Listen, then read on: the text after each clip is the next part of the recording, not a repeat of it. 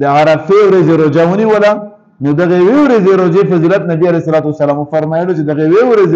روزه فضیلت ده چې الله پاک د انسان په رستنی یو کل ګناهونه را روان یو کل ګناهونه معاف کوي نو الله تبارک وتعالى به باندې موږ صغیر ګناهونه معاف کړي نو چې کله تا د عملونو نه صغیر ګناهونه معاف شول اتا زړه لګ لګ نرم شي نو چې کله وستا روزه الله رضا پرونی ولا او په دا روزه باندې تا د ګناه معاف شول نو چې ته مخامه پر روزه د آداب او خیال وساته او مخام کیږي نو مخام پټین کې تا د خپل ګناهونو احساس وشي چې را مخه الله پاک دې حکمونه مات کړي ما نه ډیر ګناهونه شوي نو په دا ټیم کې چې بیا ته روژه ماتوې او ته بیا په خپلو ګناهونو باندې الله پاک ته صرف دوې اوښکې تا لیکې او الله ته ژړا وکړې چې الله پاکه زه ډېر کمزوری یم ایمانه غلطۍ شوي دي ایمانه کمزورۍ شوي دي ایمانه ګناهونه شوي دي یا الله پاکه زه خو تا بنده یم زه تا نه معافي غواړم یا الله ته مې معاف کړي نو الله پاک یې غټ ګناهونه هم پسې معاف کړي زما عزتمندو کوشش وکړو چې د عرفې ورځې روژه ونیسو او عرفې ورځ ویلی کېږي څه شي ته مرګورو پښتنې کړي زه یې اول نه ته جواب نه کوم عرفه ورځ ویل کېږي څه شي ته؟ ګوره په دې کې یو خو اختلاف د مطالعو دی ما تاسو ته تېره پېره په وړوکي اختر کې یوه مسله بیان کړې وه که تاسو ته یاده وي وړوکي اختر کې مې ته مسله دا بیان کړې وه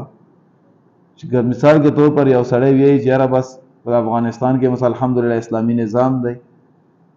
سعودي سره یو سړی که حج کوي یا نه کوي په افغانستان کې خو اسلامي حکومت دی او اسلامي نظام دی موږ سره نږدې دی دا لانډه بونډرې هم دا وایي هغه خبره نیمه ګنټه پار کوم مې سه ټیم نشته دی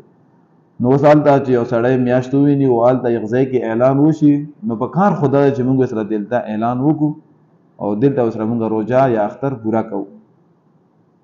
اوس ګوره که مثال کې تو پر پنجاب ولا وایي کنه زه ته خپل خبره کوم ما خپل رائے ده دا که پنجاب ولا وایي چې افغانستان خو موږ لري نه موږ خو سره لانډه بونډري ټاچ ته موږ خو سره نږدې یو نمرم ځان ته نه لري کول پکار یو که بیا کوم علما دا فرمایي چې اختلاف د مطالعه معتبر دی او بس هر ملک خپل خپل روجا او هر یو ملک خپل خپل اختر دی نو دا هم فتاوو لیکلي زه خپله طرف نه خبره نه کوم فتاوو خبره ته کوم فتاوو لیکلي چې اختلاف د مطالعو معتبر دی د یک ځای خپل اختر روژه وي د ځای خپل اختر روژه وي نو دا هم علما فرمایي نو اوس کم خلک که مثال کې طور پر پاکستان سره وي چې یاره بس موږ روژه و د موږ اختر هر څه پاکستان سره دي په پاکستان کې لوی لوی علما دي دوی موږ ذمه وار دي نو د هغوی لپاره د عرفې روژه د اتوار ورځ ده اختر پیر په ورځ دی که نه غالبا نه اتوار ورځ موږ د عرفه ورځ ده اتوار پر ورځ موږ روزه نه سو بیا که کم خلک یې چې نه زه خو ما اختر او ما روزه ټول عمر چې کوم د افغانستان سره یا ټول عمر روزه او اختر مې چې کوم د سعودي سره دی نو هغه د پاره د عرفه ورځ سبا لره خیالي ورځ ده اوس د عرفه ورځ ویل کېږي چې دا اول په ځوان ځان کوی چې عرفه ورځ ویل کېږي چې دا ډېر خلکو ذهن دا دی چې د عرفه ورځ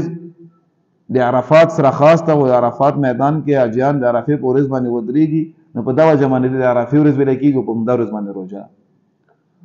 کتابونو فتاوو لیکلي دي، درې وجې لیکلي زه تاسو ته صرف او صرف یوه وجه ترېنه بیانوم. کله چې حضرت ابراهیم علیه السلام په خپل خوب کې دا ولیدل الله تبارک وتعالی او ته خوب کې وخیل چې خپل بچی ذبح کوي خپل بچی لروي نو دا اتمه ذل حجه نو چې کله د اوچا سو لکس تردد کې وو ویو چې یاره کېدای شي داسې خوب وي چې بیا ود شولو بیا دوباره خوب ولدلو چې دوباره خوب ولدو نو دا نه هم ذل حجوا نو کتابونه لیکلي چې دویمه پر خوب ولدلو دا خوب ته پته ولګید چې دا حق خوب دی نو په دغه وجه باندې بیا دغه ته عرفه ورځ ویل شو او دغه ورځ د عرفه مقرره شوه د عرفات میدان سره څه خاص تعلق نه چې کنه خامخا عرفات میدان کتابونو لیکلي دي چې نه هم ورځ دی ذوالحجې د عرفه ویل کېږي او په ابو داوود شریف کې حدیث مبارک کې صراحتا د ټکي استعمال شوی دی چې نبی علیه الصلاۃ والسلام د ذوالحجې په نه هم تاریخ باندې روزه نیوله یعنی د غټ اختر نه یو ورځ مخکې نو که غټ اختر نه یو ورځ مخکې روژه شوله نو چې کوم ملک غټ اختر ورځ وي یعنی یو ورځ مخکې یو خو د عرفې ورځ شوله نو دلته موږ دپاره که کوم خلک د پاکستان سره اختر کوي نو هغوی دپاره اتوار ورځ ده د اتوار په ورځ باندې د عرفې ورځ زموږ دپاره دغه ورځ باندې یو سړی روژه ونیسي نو دغه روژې چې کوم فضیلت دی موږ تاسو ته حاصل شي الله تبارک وتعالی توفیق راکړي چې وینسو یوه ورځ ده دومره غټه خبره نه یوه وړوکې ورځ ده